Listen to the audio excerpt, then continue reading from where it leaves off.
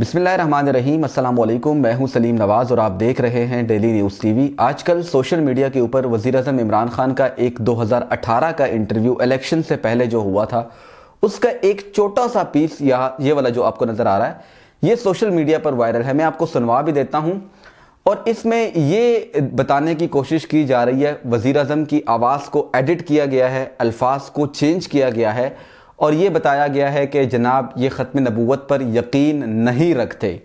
और ये clip social media पर वायरल पड़ा है। अब तक तकरीबन 10 लाख सॉरी 10 मिलियन पाकिस्तानियों ने इस क्लिप को देख लिया है। और इसके अलावा साढ़े चार लाख, पाँच लाख के करीब जाहिलों ने इसके ऊपर कमेंट भी ठोक दिए है। और इन साढ़े चार, पाँच लाख जाहिलों ने, इनमें से तकरीबन सवा चार लाख, साढ़े चार लाख जो जाहिल है, इन्होंने वज़ीर अजम को यहूदी मरजाई नसरान, पता नहीं क्या कुछ काफर तक डिक्लेयर कर दिया है। बिना कुछ कुछ सोचे समझे कि भाई, ये वज़ीर अजम जो इस वक्त इस्लामी जमहूरिया पाकिस्तान का वज़ीर अजम है, जो यूनाइटेड नेशंस में जाकर बड़े बड़े फॉरम्स में जाकर इस्लाम की बात करता है, अकीदा ख़त्म नबूवत की बात करता है तहफ़ नामूस रिसालत की बात करता है, ये बंदा कैसे ये बात कर सकता है कि ख़त्म नबूवत पर मैं यकीन नहीं रखता, या ख़त्म नबूवत पर यकीन ना रखने से बंदा काफिर नहीं होता? नाउजबिल्ला ऐसा हरगिज़ नहीं है। लेकिन दड़ादर जहालत के अड्डे यहाँ पर बने हुए हैं और उस जहालत के अड्डे को देखने वाले बहुत सारे तमाशाई यहाँ पर बैठे हुए जिनको आप अवाम कहते हैं, मैं इनको अवाम नहीं कहता। और जनाब दड़ादड़ इसके ऊपर कमेंट कर रहे हैं शेयर कर रहे हैं इसको, लाखों लोगों ने इसको शेयर किया और इसके ऊपर दस दस मिलियन व्यूज़ है। और सब के सब जनाब ये देख रहे हैं कि ये तो वज़ीर आज़म जो है, ये तो है ही मरजाई यहूदी काफर नाउजबिल्ला खैर, ये वाला क्लिप सुने जो इस वक्त वायरल पड़ा है फिर मैं आपको असली ओरिजिनल जो क्लिप है, वो भी सुनवाता हूँ। जरा एक मरतबा ये सुन लीजिए क्या फरमा रहे हैं यहाँ पर। इंसान रबुल आलमीन सब इंसानों का खुदा खुदा है। कानून के सामने सब एक बराबर हो। और ये ये मदीना की रियासत में था कि सबके हकूक थे, ईसाइयों के हकूक थे यहूदियों के हकूक थे, सबके। तो वो वो वो तो इंसानों के सबके हकूक है। ये मैं कहता हूँ, कानून के सामने सब एक बराबर। लेकिन ये कहना कि जो नबी को आखिरी नबी नहीं मानता वो मुसलमान तो नहीं हो सकता। इस शिक को आप आकर बिल्कुल नहीं जी नहीं। अच्छा अब ये जो क्लिप आपने सुना है ये वो है जिसकी आवाज़ को तब्दील किया गया है।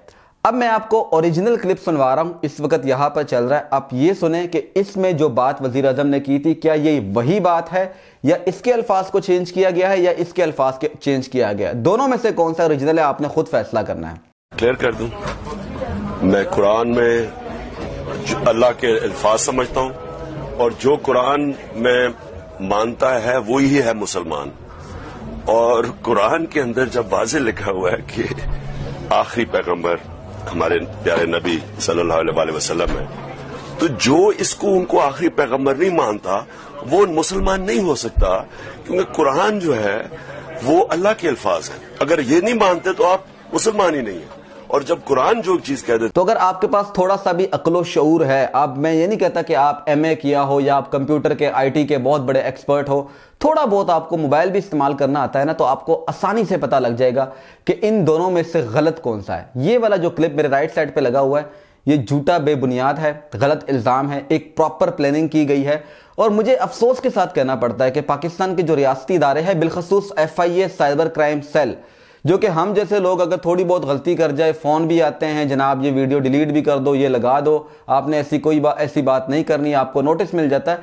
लेकिन इतना सेंसिटिव मामला कि आपके मुल्क के प्राइम मिनिस्टर को पूरी दुनिया के सामने बदनाम किया जा रहा है। जितने लोग उर्दू सुनने वाले हैं उनके सामने बदनाम किया जा रहा है। उनके ईमान पर जो है एतराज़ किया जा रहा है। तो आपको कम से कम खुद से इसकी इन्वेस्टिगेशन करनी चाहिए थी। इनको पकड़कर हमारे सामने लाना चाहिए था। और फिर जिन लोगों ने इस क्लिप को एडिट किया, इसकी आवाज़ को चेंज किया इन इनके ऊपर जो है 295 ए बी सी ये तीनों मुकदमा जो है इनके ऊपर लगने चाहिए। ये एक बहुत गंदी गेम है ये बहुत ही खतरनाक गेम है। इससे पहले ये वाला वाकया इंजीनियर मोहम्मद अली मिर्ज़ा के साथ हुआ। उनकी एक वीडियो थी उसके कुछ अल्फाज के टोटो को वहाँ से उठाया गया कुछ वहाँ से उठाया गया जोड़ तोड़कर उनके ऊपर एक मुकदमा बनाया गया। फिर बेचारे को एक नहीं दो मरतबा उसको अटैक किया गया। आप मेरी 300 वीडियोस अगर देखेंगे उसमें से आपको बहुत कुछ ऐसा मिल जाएगा। आप समझोगे भाई ये बंदा तो पक्का मर्दाई काफ, काफर दूसरी बात इसमें यह है कि हमने देखा औरत मार्च के अंदर कुछ नारे लगाए गए थे तो वहाँ पर भी ऐसे ही अल्फाज को तब्दील किया गया और एक बहुत बड़ा शोर मच गया। फिर जब हमने वीडियो का फ्रांसिक किया और आपको दिखाया कि भाई यहाँ पर आवाज़ को तब्दील किया गया है तो पहले तो आप लोग कह रहे थे कि जनाब औरत मार्च के खिलाफ जो है तोहन रिसालत का तोहन खुदा का मुकदमा दर्ज होना चाहिए तोहन कुरान का मुकदमा दर्ज होना चाहिए। लेकिन जब वो पकड़े गए तो आप में से किसी एक ने, ये बिलखसूर ये साढ़े चार, पाँच लाख जो जाहिल बैठे हुए बल्कि एक करोड़ जो जाहिल बैठे हुए इनमें से किसी एक ने भी मुतालबा नहीं किया कि जिन लोगों ने औरत मार्च की ज़िंदगी के साथ खतरनाक तरीन खेल खेला, उनकी वीडियो को एडिट किया, उनको बदनाम करने की कोशिश की, किसी ने मुतालबा नहीं किया कि जिन्होंने इस वीडियो का एडिट किया, उनके ऊपर तोहन रिसालत का, तोहन मज़हब का, तोहन खुदा का, तोहन कुरान का तमाम तर मुकदमात उनके ऊपर दर्ज किए जाए। किसी ने इस चीज़ का मुतालबा बिल्कुल भी नहीं किया। कुछ अर्सा पहले एक बैंक के मैनेजर को उसी बैंक के सिक्योरिटी गार्ड ने कत्ल किया और कत्ल करके जनाब उसे नारे लगाना शुरू कर दिए। जनाब इसने तोहन कर दी। सारे उसके साथ खड़े हो गए। जब उस गार्ड को दो थप्पड़ पुलिस ने मारे, उसके बाद खुद बकना शुरू हो गया कि जनाब ऐसा कोई मामला नहीं था, बस हमारे, मैंने नमाज़ पढ़ने जाना था। तो इन्होंने मुझे कहा कि आप थोड़ी देर तक नमाज़ पढ़ ले, जिस पर मुझे गुस्सा आया और मैंने इसको कत्ल कर दिया। फिर किसी ने मुतालबा नहीं किया कि भाई इस गार्ड के ऊपर तोहन का मुकदमा होना चाहिए। तो ये जो कानून है ना, इसको जो लोग इस तरह से इस्तेमाल करने की कोशिश करते हैं, खुदारा, आप उन लोगों के खिलाफ खड़े हो। आज देख लें, हमारे मुल्क का वज़ी अजम भी इनसे महफूज नहीं है। इस मुल्क के आर्मी चीफ के ऊपर जब इल्ज़ाम लगा, इससे पहले खुद चले गए, वो वहाँ पर उम्र करने। फिर उनको तस्वीरें जारी करनी पड़ी। नवाज़ शरीफ पर इल्ज़ाम लगा, उनको घर में महफिल मिलाद करवाने पड़े। अब ये इमरान खान पर इल्ज़ाम लगे, उनको भी ऐसा कुछ कर देंगे, अपने आप को क्लियर करना पड़ेगा।